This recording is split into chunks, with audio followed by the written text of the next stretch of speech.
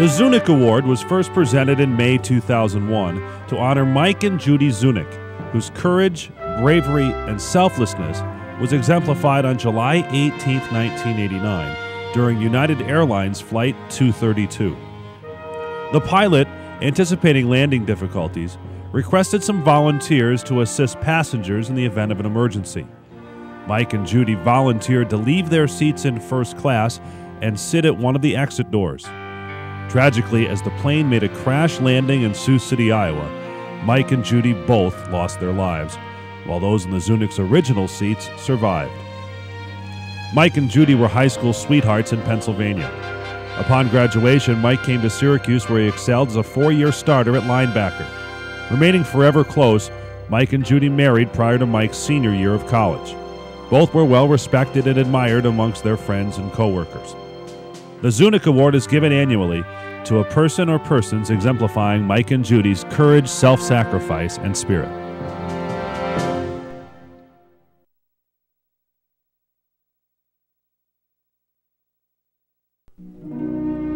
Bill Coghill came to Syracuse as an All American football player from Shaker High School and Deerfield Academy. He received his bachelor's degree from SU and a graduate degree from the University of Denver. Bill served as a medic with the Marines from 1968 to 1970 and was awarded the Purple Heart twice. While in Vietnam, he frequently bought candy for and shared his C rations with the village children. Eventually, he became a favorite with the kids, who affectionately referred to Bill as Kim Shi Waterboo, which roughly translates as Dr. Water Buffalo. In fact, Bill became especially close to one village child named Ty.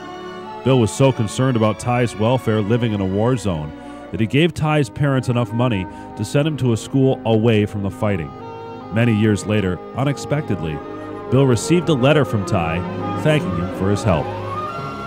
After his tour of duty, Bill returned to Syracuse to continue his college football career and went on to play professionally for the British Columbia Lions. He later worked as a field archaeologist in the western U.S. and South America before returning to Albany to work in his family's contracting business. Bill was an outdoorsman, a generous friend to all who knew him, and a loving husband and father. In recognition of the courageous and compassionate life he lived, a 2009 Zunic Award is presented posthumously to Bill Coghill.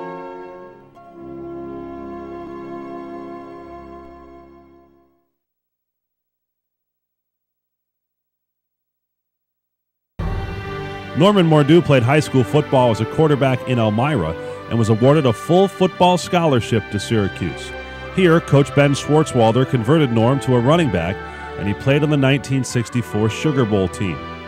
Norm graduated in 1966 with a bachelor's degree in economics. Following his completion of ROTC as a distinguished military graduate, he was commissioned into the regular Army as a second lieutenant in the infantry and served in Vietnam.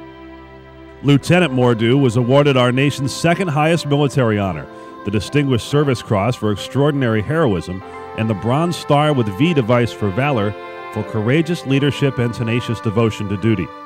He also received the Combat Infantryman's Badge, the Air Medal, the Purple Heart, and various campaign and service medals. Captain Mordue was medically retired in December 1968 as a result of wounds sustained in combat. Following the war, he returned to Syracuse and graduated from the College of Law in 1971. He worked his way up from law clerk to chief assistant district attorney to Onondaga County court judge to New York State Supreme Court justice to chief United States district judge for the Northern District of New York. Judge Mordue was a driving force in creating the Korea Vietnam Memorial in downtown Syracuse, the first monument of its kind in the country. He has received numerous awards for his competence, integrity, leadership, and service as a football player, a military leader, and as an attorney. And now, a 2009 Zunic Award is presented to Judge Norman Mordue.